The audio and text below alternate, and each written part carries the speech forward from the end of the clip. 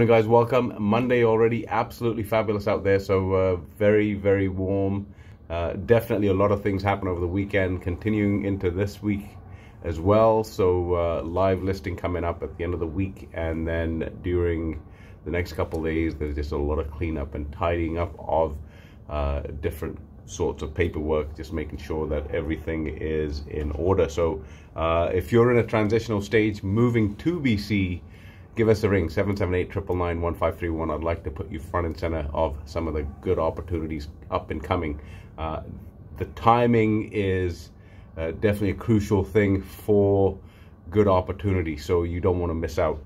We're going to jump into the pocketbook of mindfulness and then get on with the day. Here we go. Love teaches me i am everything. Wisdom teaches me i'm nothing. Between the two my life flows. So uh, remember, I mean, over the years and over the uh, the time that you spend, um, you know, coordinating with your friends and family, uh, getting into society, uh, you will uh, retain knowledge to make you wise. And obviously, you you want to you you want your life to flow easily, right? So between the two, you're going to be um, for the most of your life. Kindness is more important than wisdom, and the recognition of that is the beginning of wisdom. So, again, there's there's nothing at all wrong with being kind. It's uh, it's a good thing. It's a great act. Uh, you want to go out with your best intentions, guys.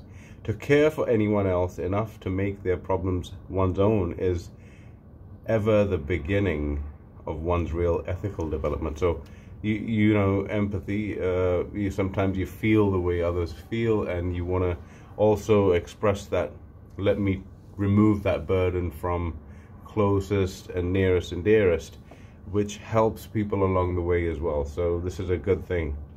Um, caring is sharing no matter what you're sharing right? Those who love deeply never grow old. They may die of old age but they die but they die young.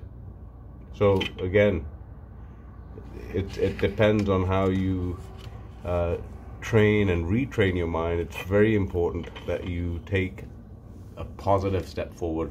Get out there, guys. Enjoy it and make sure you stay fantastic. Ciao for now.